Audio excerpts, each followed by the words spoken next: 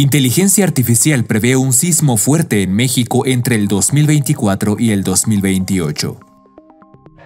Según un estudio realizado por Víctor Velasco Herrera, investigador del Instituto de Geofísica de la Universidad Nacional Autónoma de México, entre 2024 y 2028 ocurrirá por lo menos un sismo fuerte en el sur y centro del país, incluyendo a la Ciudad de México con magnitud igual o mayor de 7.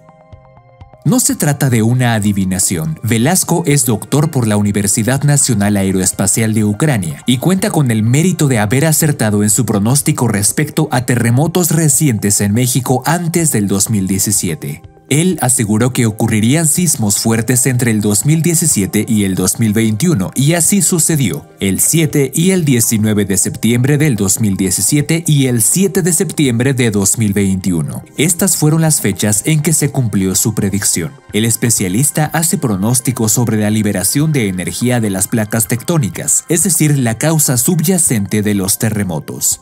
Durante más de 20 años se ha dedicado a recabar información de sismos de hace más de 100 años hasta la época actual en México. Y su investigación implica millones de datos interpretados por inteligencia artificial respaldada por modelos matemáticos. En sus palabras, se trata de reconstruir la actividad sísmica histórica en el país para luego poder dar un estimado hacia el futuro. ¿Y entonces cuándo serán los sismos? Velasco afirma que los sismos fuertes van a empezar en 2024 y se podrían prolongar hasta el 2028.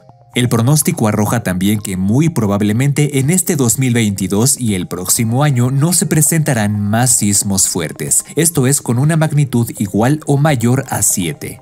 Cabe resaltar que aunque esto es una estimación, es imposible predecir con exactitud el 100% de la actividad sísmica. Sin embargo, esta información es un buen referente para tomar las precauciones necesarias ante los sismos que puedan venir.